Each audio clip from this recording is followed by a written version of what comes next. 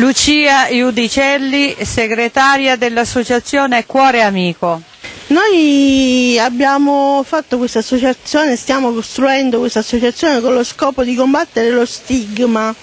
Siamo persone che abbiamo avuto questo problema e vogliamo aiutare anche altri ragazzi, persone più grandi a- ad abbattere proprio questo problema perché si può superare facilmente con l'aiuto sia dei, dei medici, degli psicologi, degli psichiatri, degli assistenti sociali, ma anche della famiglia.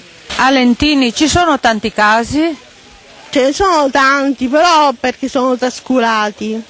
E noi vogliamo fare emergere questo sia come ragazzi, sia come genitori, come famiglie.